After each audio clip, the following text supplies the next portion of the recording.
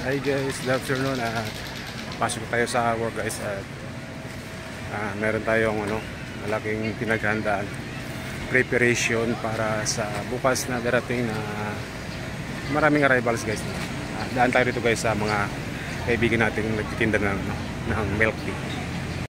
Hi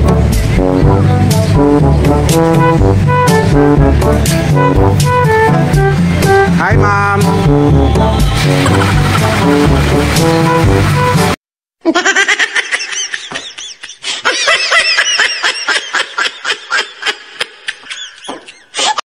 Galing ha?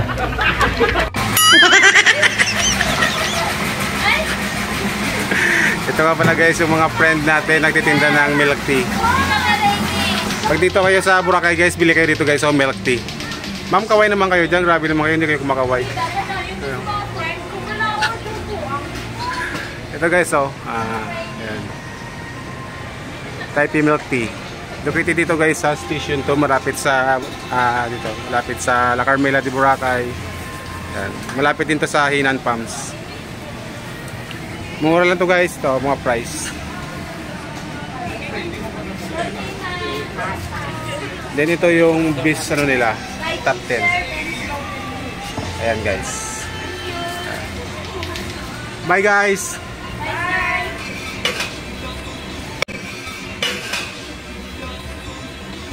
Oh my God! So ayan guys, dinaanan natin yung mga friend natin doon sa may milk tea, ah, Taiwan milk tea. So mga taga ano yun guys, mga taga Tapis. Ano guys, so yung La Carmela.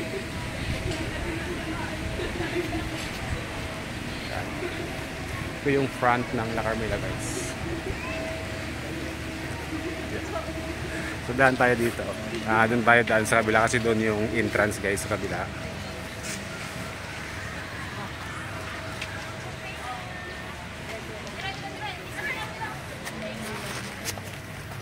Ah, nakapagpahinga tayo guys ng maayos at nag-duty tayo ngayon ng 1 o'clock.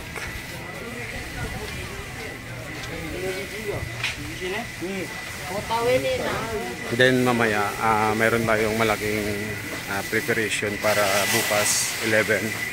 Ah, medyo madami-dami yung darating bukas hanggang 50 na yata yun guys. So, paganda natin at least nakapag-rest tayo ng maayos ngayon. Uh, nakapagpahinga tayo. Ready yung ano natin. Ready tayo sa uh, magaganap na bakbakan guys uh, simula bukas.